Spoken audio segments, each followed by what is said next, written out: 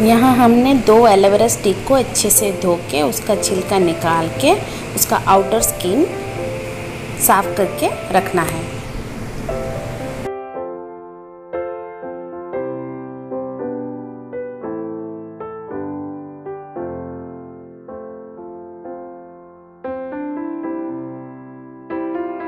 Aloe vera gel को leave से निकाल लिया है और उसे एक बोल में रखा है।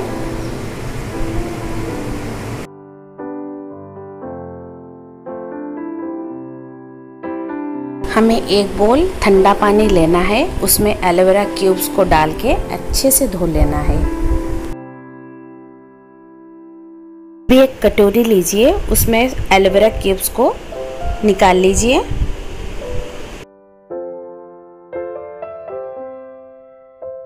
हमें अभी सारे एलोवेरा क्यूब्स को अच्छे से छोटे छोटे हिस्सों में काट के चॉप कर लेना है।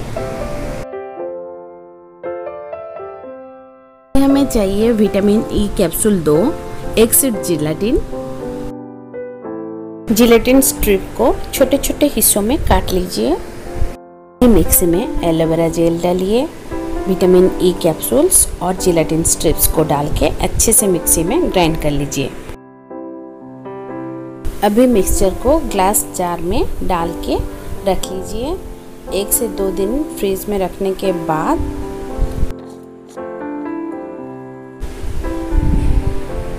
ये कुछ इस तरह का दिखेगा। और आप इसे एक से दो महीने आराम से यूज़ कर सकते हैं।